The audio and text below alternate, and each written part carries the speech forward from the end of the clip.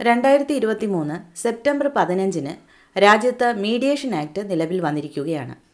Mediation act twenty twenty three. രണ്ടായിരത്തി ഇരുപത്തിയൊന്നിലെ ബില്ലാണ് ഇപ്പോൾ നിയമമായിരിക്കുന്നത്. മീഡിയേഷൻ ആക്ടിന്റെ സവിശേഷതകൾ എന്താണ്? ഈ ആക്ട് കൊണ്ട് സാധാരണക്കാർക്കുള്ള മെച്ചം എന്താണ്? എവിടെയാണ് ഇതിന്റെ സേവനങ്ങൾ ലഭ്യമാകുന്നത്? എന്തൊക്കെ മാറ്റങ്ങളാണ് മീഡിയേഷൻ ആക്ട് സമൂഹത്തിൽ കൊണ്ടുവരുന്നത്? ഇതാണ് ഇന്നത്തെ വിഷയം. നമ്മുടെ ഏറ്റവും വലിയ സമ്പത്ത് നമ്മുടെ അഭിമാനമാണ്. അഭിമാനക്ഷതമുണ്ടാക്കുന്ന മറ്റുള്ളവരുടെ പ്രവൃത്തികൾ തർക്കങ്ങളിലേക്കും മറ്റ് വ്യവഹാരങ്ങളിലേക്കും എത്തിച്ചേരും. അതുപോലെ നമ്മുടെ വസ്തുവിനോ വാഹനത്തിനോ വഴിക്കോ മറ്റ് അവകാശങ്ങൾക്കോ തടസ്സം വരുത്തിയാലും തർക്കങ്ങളും വ്യവഹാരങ്ങളും ഉണ്ടാകും. ജീവനെ അപകടം സൃഷ്ടിക്കുന്ന മരങ്ങൾ മറ്റ് അസഹ്യമായ പ്രവർത്തനങ്ങളൊക്കെ നമ്മുടെ ജീവിക്കാനുള്ള അവകാശത്തിന് ദോഷമായി വരും. നമ്മുടെ രാജ്യം ഉറപ്പു നൽകുന്ന അവകാശങ്ങളിൽ ഏറ്റവും ശ്രേഷ്ഠമായ അവകാശം ജീവിക്കാനുള്ള അവകാശമാണ്. അന്തസ്സായി ജീവിക്കാനുള്ള അവകാശം. പലപ്പോഴും നമ്മുടെ അവകാശങ്ങളിൽ നിഴൽ വീഴ്ത്തിക്കൊണ്ട് മറ്റുള്ളവർ പ്രവർത്തിച്ചേക്കാം. നമ്മുടെ അയൽക്കാരിൽ നിന്നോ കുടുംബത്തിനുള്ളിൽ തന്നെ നിന്നോ തൊഴിൽ സ്ഥലത്തു നിന്നോ അതുപോലെ സമൂഹത്തിൽ എവിടെ നിന്നും നമുക്കൊരു ഭീഷണി വരാം. നമുക്ക് ഒരു അസുഖം വരുന്നത് പോലെ തന്നെ ഇതും ചികിത്സിച്ചില്ലെങ്കിൽ നമ്മുടെ ജീവിതത്തിന്റെ എല്ലാ സൗന്ദര്യവും ഇല്ലാതാക്കി കളയുന്ന ഒന്നാണിത്. ചികിത്സ എന്ന് പറയുമ്പോൾ കോടതി വ്യവഹാരമാണ് ഉദ്ദേശിക്കുന്നത്. ചികിത്സാ ചെലവ് പോലെ തന്നെ ഇവിടെയും പണച്ചെലവുണ്ട്. കോടതിയുടെയും വക്കീലിന്റെയും ഫീസുകൾ നമ്മൾ നൽകേണ്ടി വരും. ഇത്തരം വലിയ സാമ്പത്തിക ബാധ്യതകൾ ഭയന്ന് സാധാരണക്കാർ കോടതിയെ സമീപിക്കാതെ വില്ലേജ് ഓഫീസിലോ കളക്ടറേറ്റിലോ മന്ത്രിമാർക്കോ ഒക്കെ പരാതി നൽകി വർഷങ്ങളായി കാത്തിരിക്കുന്നതാണ് കണ്ടുവരുന്നത്. കാതലായ നിയമപ്രശ്നങ്ങളാണെങ്കിൽ ഇതിലൂടെ പരിഹാരം കാണാൻ കഴിയാതെ വരും. പുരാതന കാലത്തെ കൂട്ടുകുടുംബ സമ്പ്രദായത്തിൽ കുടുംബത്തിനുള്ളിൽ തന്നെ പ്രശ്നപരിഹാരം സാധ്യമായിരുന്നു. അണുകുടുംബ വ്യവസ്ഥിതിയിലേക്ക് കടന്നതോടുകൂടി ഇത്തരം പ്രശ്നപരിഹാരങ്ങൾക്ക് സാധ്യതയില്ലാതായി. കുടുംബ പ്രശ്നങ്ങൾ പോലും കുടുംബത്തിനകത്ത് പരിഹരിക്കാൻ സംവിധാനമില്ലാത്ത അവസ്ഥയാണ്. ഇതിനൊരു പരിഹാരമാണ് മീഡിയേഷൻ ആക്ട്. നമുക്ക് ഒരു പ്രശ്നം നേരിട്ടാൽ ആ പ്രശ്നത്തിന്റെ ശരിയും തെറ്റും അതായത് നിയമപരമായ അവകാശങ്ങളും കടമകളും നമുക്ക് കൃത്യമായി അറിയില്ല എന്നത് ഒരു വാസ്തവമാണ്. അതിലെ ശരിയേത് തെറ്റേത് എന്നറിയണമെങ്കിൽ നിയമപരിജ്ഞാനമുള്ള ഒരാളുടെ സഹായം വേണം. നമ്മുടെ നാട്ടിൽ ധാരാളം വക്കീലന്മാരുണ്ടെങ്കിലും ക്ലയന്റ് കൗൺസിലിംഗ് നടത്തി കേസിലേക്ക് പോകാതെ കക്ഷികളെ രക്ഷിക്കുന്നവർ കുറവാണെന്നാണ് പൊതുവെ കണക്കാക്കുന്നത്. വ്യവഹാരം നടത്താനായി വക്കീലിനെ സമീപിക്കുന്നവർ പൊതുവെ കേസ് നടത്തിയാൽ വിജയിക്കുമോ എന്ന് അന്വേഷിക്കാറില്ല. എതിർകക്ഷിക്കെതിരെ ഒരു കേസ് ഇട്ട് തരാമോ എന്ന് മാത്രമേ അന്വേഷിക്കാറുള്ളൂ. അയാളെ ഒരു പാഠം പഠിപ്പിക്കണം എന്നൊരു ആറ്റിറ്റ്യൂഡായിരിക്കും പൊതുവെ.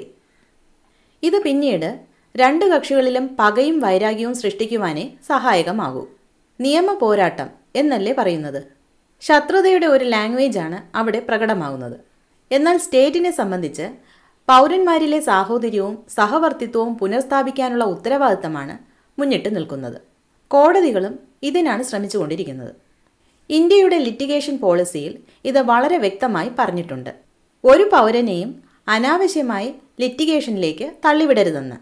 ഇതിന്റെ അടിസ്ഥാനത്തിൽ അതാത് സ്റ്റേറ്റുകൾക്കും ലിറ്റിഗേഷൻ പോളിസി ഉണ്ട്. ഒരു നിയമപ്രശ്നത്തിൽ ഇരു കക്ഷികൾക്കും കുറച്ച് അവകാശങ്ങളും അതുപോലെ കുറച്ച് കടമകളും ഉണ്ടായിരിക്കും. ഇത് തിരിച്ചറിയുന്നതിനും രണ്ട് കക്ഷികൾക്കും രമ്യമായ ഒരു ധാരണയിലെത്തുന്നതിനും ഇരു കക്ഷികളെയും സഹായിക്കേണ്ടത് നീതിന്യായ വ്യവസ്ഥയുടെ ഉത്തരവാദിത്തമാണ്. അതായത് സ്റ്റേറ്റിന്റെ ഉത്തരവാദിത്തം. ഇവിടെ ഇരു കക്ഷികളും ഒന്നും നഷ്ടപ്പെടുത്തുന്നില്ല. ഇരു കൂട്ടർക്കും വിൻ വിൻ ആയി മുന്നേറാനുള്ള അവസരം ഒരുക്കുകയാണ് മീഡിയേഷൻ കൗൺസിലർ ചെയ്യുന്നത്. മീഡിയേഷൻ സർവീസ് പ്രൊവൈഡർമാരെ സൃഷ്ടിക്കുന്നതിനാണ് ഈ നിയമം ഇപ്പോൾ നടപ്പിലാക്കുന്നത്. കൂടുതൽ മീഡിയേറ്റർമാരെ സൃഷ്ടിച്ചുകൊണ്ടാണ് ഇതിനുള്ള സംവിധാനം ഒരുക്കുന്നത്. മീഡിയേഷൻ കൗൺസിൽ ഓഫ് ഇന്ത്യയുടെ മേൽനോട്ടത്തിലാണ് മീഡിയേറ്റർമാർ പ്രവർത്തിക്കുന്നത്. ഡോക്ടർമാർ മെഡിക്കൽ കൗൺസിലിനു കീഴിൽ പ്രവർത്തിക്കുന്നത് പോലെ. മീഡിയേഷൻ ഇൻസ്റ്റിറ്റ്യൂട്ടുകളാണ് മീഡിയേറ്റർമാർക്ക് സർട്ടിഫിക്കറ്റുകൾ നൽകുന്നത്. ഇവിടെ നിന്നും മീഡിയേറ്റർമാർക്കുള്ള ട്രെയിനിങ്ങും നൽകുന്നതാണ്. പ്രോബ്ലംസ് സോർട്ട് ഔട്ട് ചെയ്ത് മീഡിയേഷൻ എഗ്രിമെന്റ് ഡ്രോ ചെയ്യുന്നതിന് പാർട്ടികളെ സഹായിക്കുകയാണ് മീഡിയേറ്റർമാരുടെ ഡ്യൂട്ടി. ഇവിടെ സഹകരണത്തിന്റെ അഭിപ്രായ സമന്വയത്തിന്റെ രീതിയാണ് അനുവർത്തിക്കുന്നത്. കാലതാമസം പാടില്ല. പരമാവധി നൂറ്റി ഇരുപത് ദിവസത്തിനുള്ളിൽ ഒരു മീഡിയേഷൻ പ്രോസസ്സ് പൂർത്തീകരിക്കണം. ഇരു കക്ഷികളും തങ്ങളുടെ അവകാശങ്ങളും കടമകളും കൃത്യമായി മനസ്സിലാക്കി അവരവരുടെ താൽപ്പര്യങ്ങൾക്കനുസരിച്ച് ധാരണയിലെത്തിയാൽ അതിനെ സംബന്ധിച്ച് മീഡിയേഷൻ എഗ്രിമെന്റ് തയ്യാറാക്കി ഇരു കക്ഷികളും ഒപ്പിടുന്നു. ഇത് ഒരു രേഖയായി തയ്യാറാക്കുന്നു. ഇത് രജിസ്റ്റർ ചെയ്യാവുന്ന രേഖയാണ്. ഇതിന് സുപ്രീം കോടതിയിൽ നിന്ന് ലഭിക്കുന്ന ഒരു ഉത്തരവിന്റെ അത്രയും ബലമുണ്ടെന്ന് പറയാം. അത് എന്തുകൊണ്ടാണെന്ന് ചോദിച്ചാൽ ഈ മീഡിയേഷൻ എഗ്രിമെന്റ് ഇന്ത്യൻ കോടതികളിൽ സാധാരണഗതിയിൽ ചോദ്യം ചെയ്യാൻ കഴിയില്ല എന്നതാണ്. പൊതുവെ എഗ്രിമെന്റുകളെ പാർട്ടി മെയ്ഡ് ലോ എന്നാണ് പറയാറ്. പാർട്ടികൾ തന്നെ അവരവരുടെ നിയമം ഉണ്ടാക്കുന്നു. ആ നിയമം ഇരുകൂട്ടർക്കും ബൈൻഡിംഗ് ആയിരിക്കും. ഈ എഗ്രിമെന്റ് തയ്യാറാക്കുന്നതിന് ഒരു ലോയറുടെ സഹായം വേണ്ടി വന്നേക്കാം. കരാർ നിയമത്തിലെയും മറ്റ് പ്രസക്തമായ നിയമത്തിലെയും വ്യവസ്ഥകൾ പ്രകാരമാണ് ഈ എഗ്രിമെന്റ് ഡ്രോ ചെയ്യുന്നത്. വഞ്ചന ചതി ആൾമാറാട്ടം ഇങ്ങനെ ചില അപൂർവം സാഹചര്യങ്ങളിൽ മാത്രമേ ഈ എഗ്രിമെന്റ് ചോദ്യം ചെയ്യാനാകൂ. മീഡിയേഷൻ നടപടികളിലുടനീളം പാർട്ടികളുടെ പ്രൈവസി ഉറപ്പുവരുത്തേണ്ടത് മീഡിയേറ്റർമാരുടെ കടമയാണ്. ഇതിന് ഭംഗമുണ്ടായാൽ മീഡിയേറ്റർമാരുടെ കൗൺസിൽ രജിസ്ട്രേഷൻ റദ്ദാകുകയും മറ്റ് നിയമ നടപടികൾക്ക് വിധേയനാകുകയും ചെയ്യും. പാർട്ടികളുടെ താൽപ്പര്യപ്രകാരമാണ് എപ്പോഴും മീഡിയേറ്റർമാരെ നിയമിക്കുന്നത്. മീഡിയേറ്റർമാരുടെ വിശ്വാസ്യത വളരെ പ്രധാനമാണ്. ഈ മീഡിയേഷൻ പല വിധത്തിലുണ്ട് പ്രീ ലിറ്റിഗേഷൻ മീഡിയേഷൻ.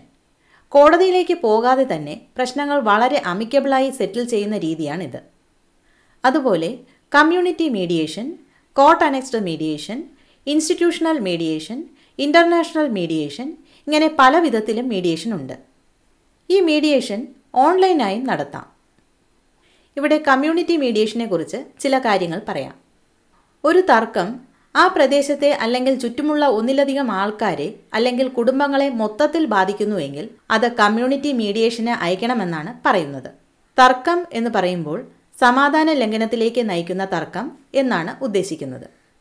ഇതിനായി ജില്ലാ കളക്ടറും ആർ ഡി ഒയും ഒരു മീഡിയേറ്റർമാരുടെ പാനൽ ഉണ്ടാക്കിയിരിക്കുകയും തർക്കങ്ങൾ അതിലേക്ക് റഫർ ചെയ്യുകയും വേണം എന്നാണ് പറയുന്നത്. റവന്യൂ കോടതികളിലേക്ക് വരുന്ന എല്ലാ തർക്കങ്ങളും ഈ പാനലിലേക്ക് റഫർ ചെയ്യാവുന്നതാണ്.